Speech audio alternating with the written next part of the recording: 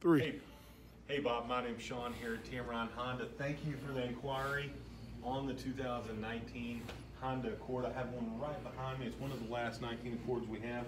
I want to show you a couple of features on this car. One, you're going to get the LED full headlight. You're also going to have the LED running light and also the LED fog light.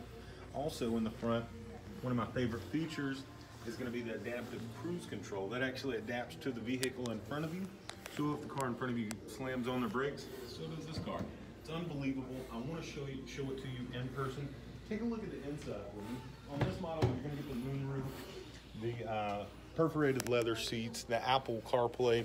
That's the cruise control right there on your steering wheel, and also all your radio controls on the left side of the steering wheel. Excuse me. It's it's unbelievable. I can't wait to show it to you in person. If I can promise you one thing when you get here, you're gonna love the way you're treated.